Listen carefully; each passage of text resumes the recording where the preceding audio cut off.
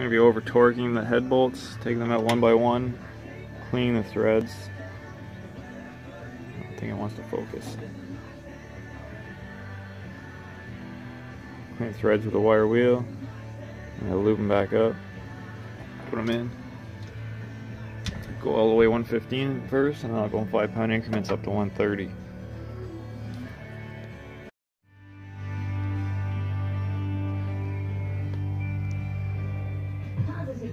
So this is what they look like. A lot of them, when you pull them out, just full of junk. Have to clean that out. Get proper torque and lubric lubricate it. soak it in some gasoline. Solvent shit I got. Just gonna wire wheel these. Trying to clean out any junk.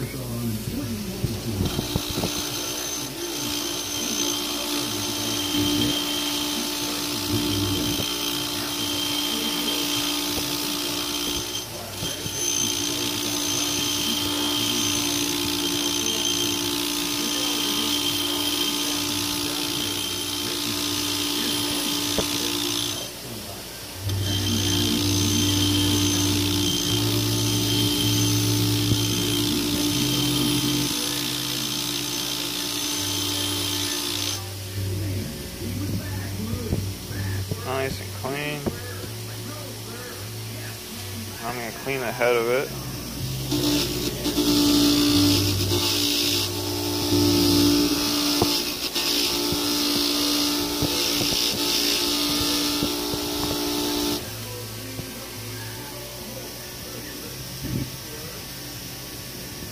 Got a little notch on it.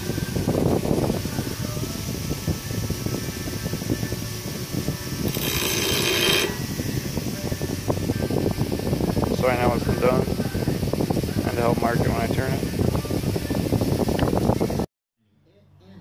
The head bolts near the header exhaust manifold are really bad. And it wasn't even at 115 foot-pounds. Didn't take much to turn it out, to be honest. Quite a difference once you clean it. That's how it should look. Shop in store or online.